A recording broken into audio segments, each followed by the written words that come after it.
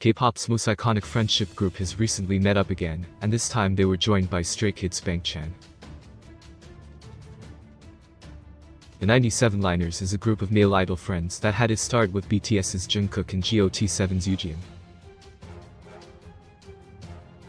Being the social butterfly that he is, Jungkook put together a lineup that now famously consists of Yugyeom, GOT7's Bam Bam, 17's Mingyu, Astro's Cha Eunwoo, and NCT's Jaehyun. These besties are known to regularly hang out together, or at least, as much as their schedules allow, and fans found evidence of their latest outing in Seoul. This time they were there with fellow 97 liner Bang Chan. It's no surprise that Bang Chan is close with the established group. Not only because he's the same age, but also because Bang Chan himself is one of the friendliest idols in the industry.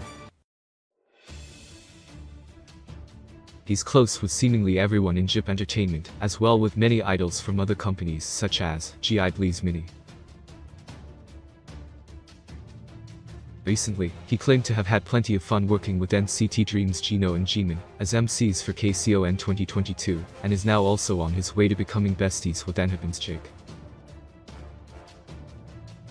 And as it turns out, he's besties with Jungkook, Jaehyun, and Cha Eunwoo as well. The four of them went out to eat at a particularly nice beef restaurant. They left behind their autographs, which were then uploaded to Instagram by the owner.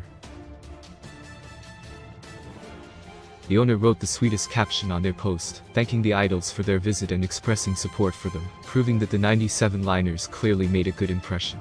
As busy as the 97 liner friends all are, fans are happy that they're taking time to wind down and hang out with each other. Hopefully, fans will see it happen again.